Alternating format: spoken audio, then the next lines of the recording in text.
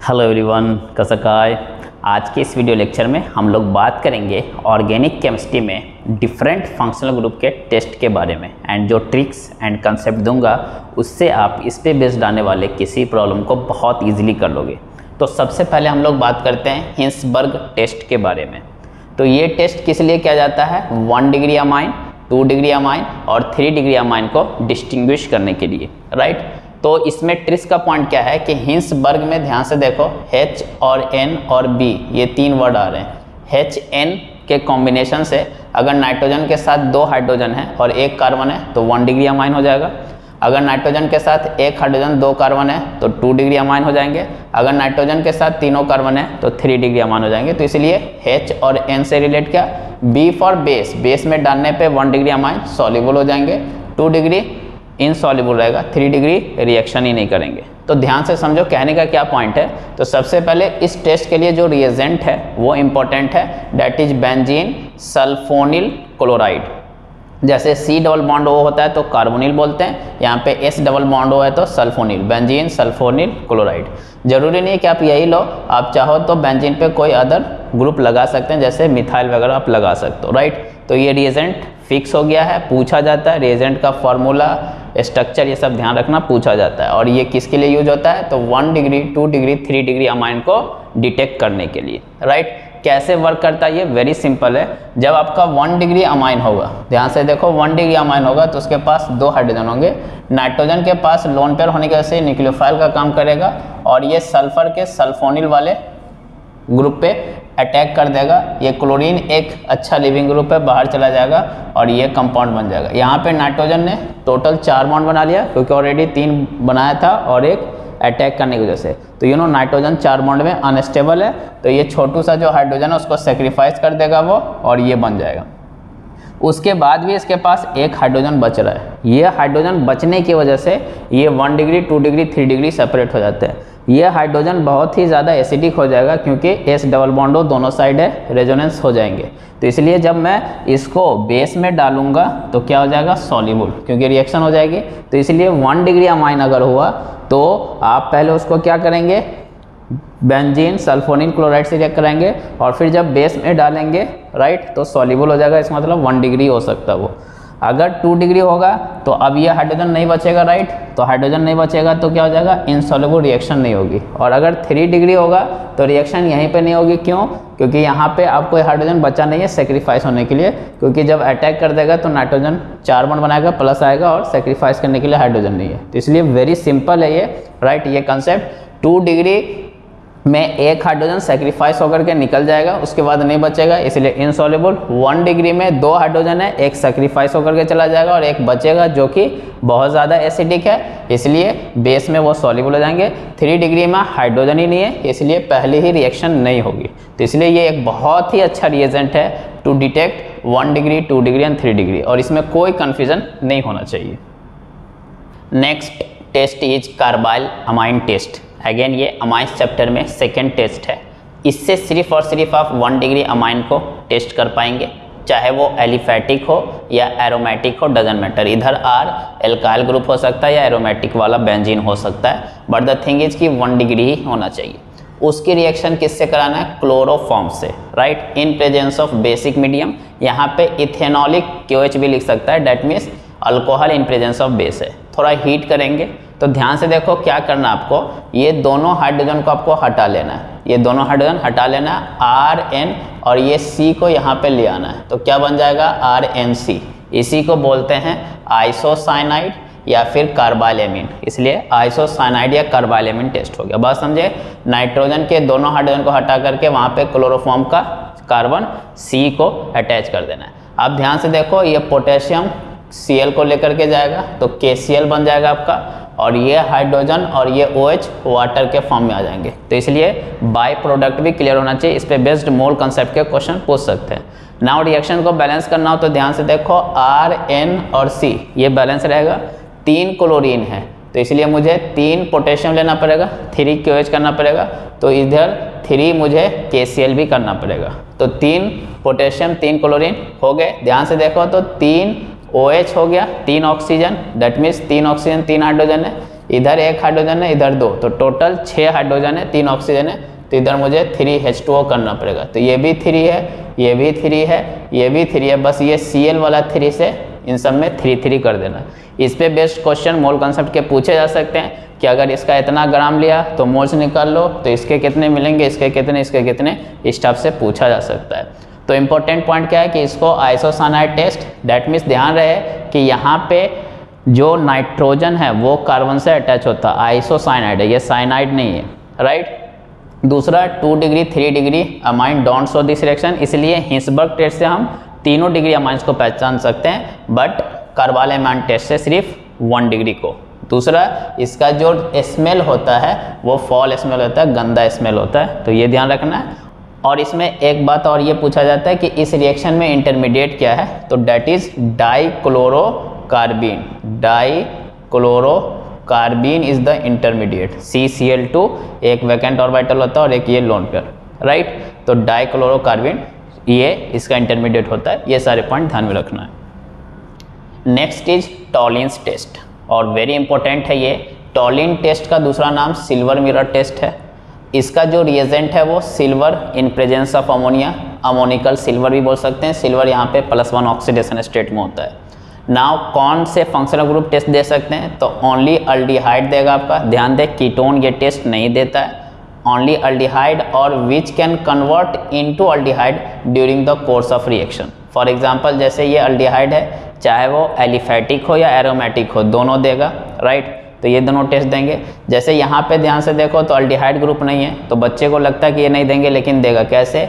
चूँकि basic medium लेते हैं तो हाइड्रोलिसिस हो जाएगा। हाइड्रोलिसिस होगा तो ये बॉन्ड ब्रेक हो जाएँगे। डिफरेंट इलेक्ट्रोनिगेटिव वाले, यहाँ पे ओ OH आ जाएगा।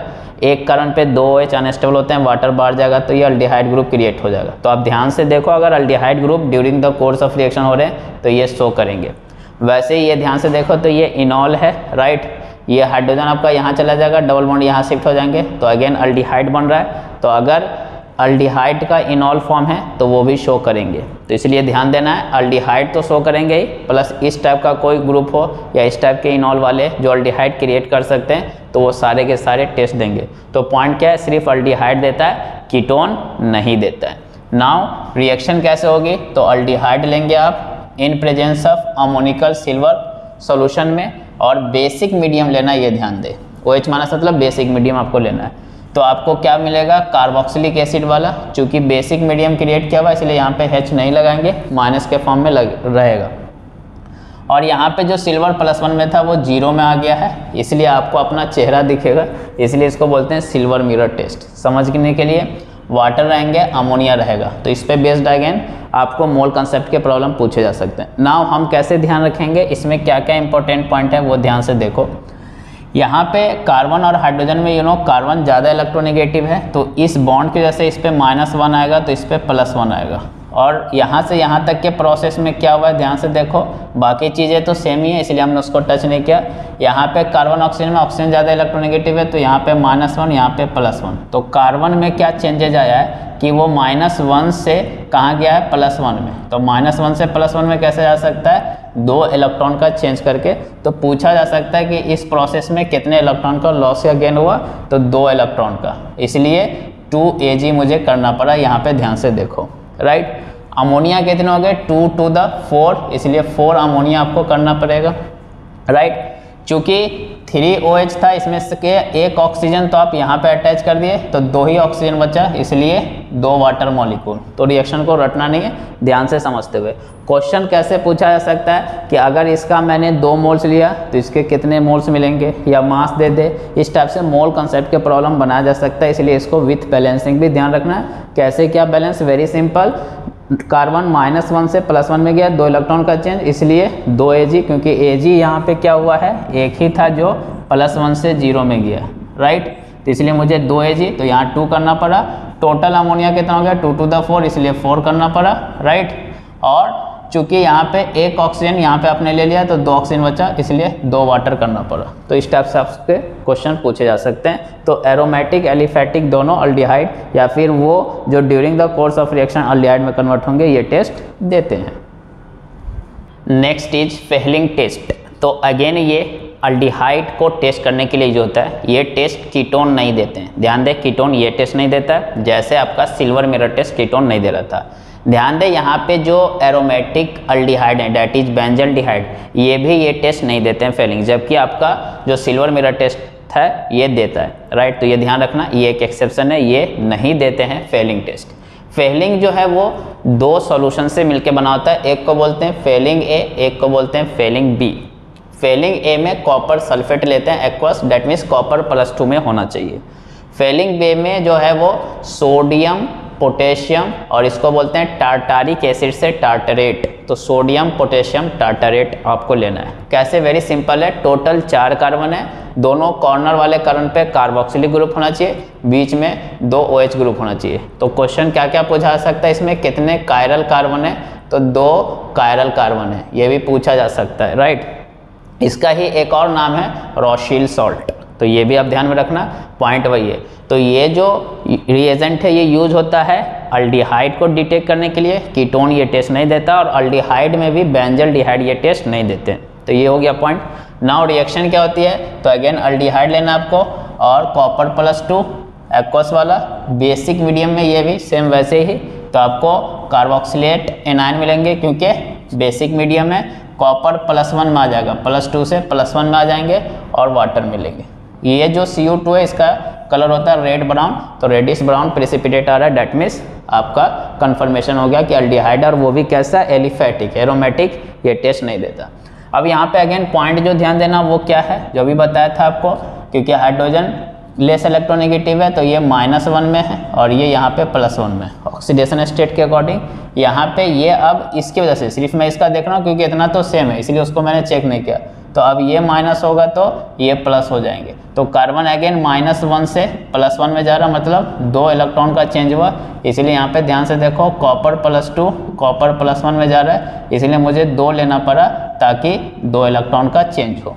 राइट तो ये टू क्यों आया? ये क्लियर होना चाहिए, ये बैलेंसिंग हो गया।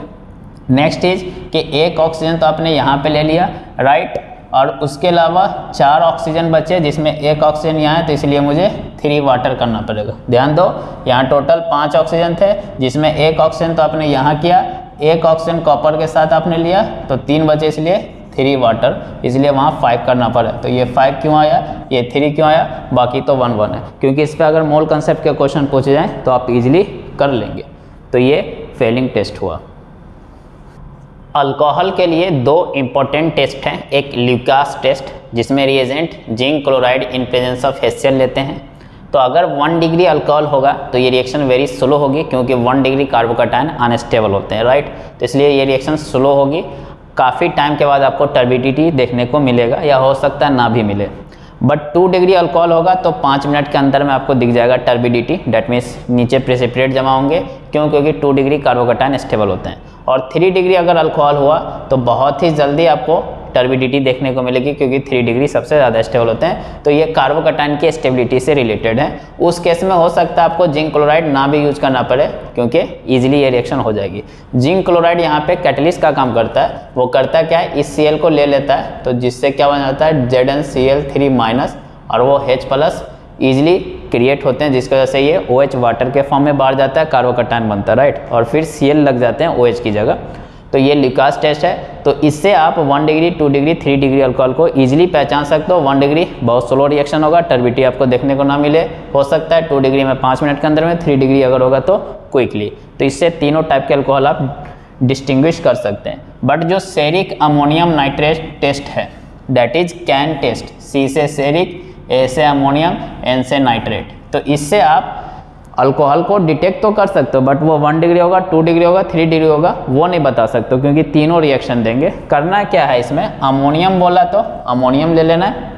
सीरिक सी ये डी ब्लॉक वाले राइट नाइट्रेट तो ये एक्चुअली कम्प्लेक्स बन गया, जहाँ पे ये प्लस फोर ऑक्सीडेशन स्टेट में। और अल्कोहल जो है यहाँ पे जिसके पास लोन पेयर है, ये एज ए लिगेंड का काम करेगा तो दो नाइट्रेट को रिप्लेस करके ये खुद आ जाएँगे।